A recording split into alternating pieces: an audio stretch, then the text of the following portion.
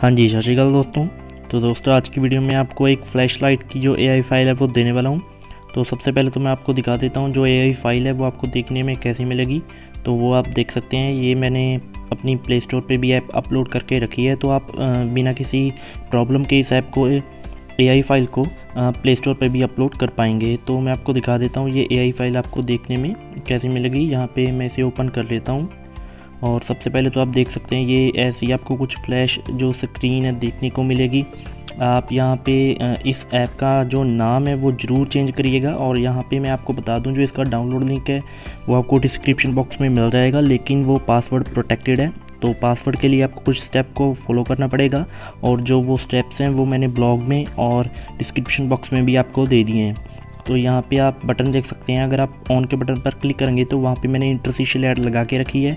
अगर आप यहाँ पे क्लिक करें तो आप देख सकते हैं ये इंटरसीशल ऐड जो लोड होगी। और यहाँ पे ये टॉर्च ऑन हो गई है। और दोबारा आप ऑफ़ के बटन पर क्लिक करेंगे तो जो आपकी टॉर्च है वो ऑफ़ हो जाएगी। तो यहाँ पे दोस्तों मैं एक और बात आपको बता दूँ। कुछ कुछ डिवाइस में ये जो जो फ्लैश लाइट है ये वर्क नहीं करती। तो आप एक बार इस ऐप को ज़रूर टेस्ट करिएगा। तो अगर आपके इस, आपके डिवाइस में ये जो फ्लैश लाइट है, ये वर्क करती है तो आप इसे यूज़ कर सकते हैं। अदरवाइज़ आप इसे एक प्रैंक के तौर पे भी इस ऐप को जो यूज़ कर पाएँगे और प्ले स्टोर पर एक प्रैंक के नाम से जो फ्लैश लाइट है, वो कहकर आप इसे पब्लिश कर पाएँगे।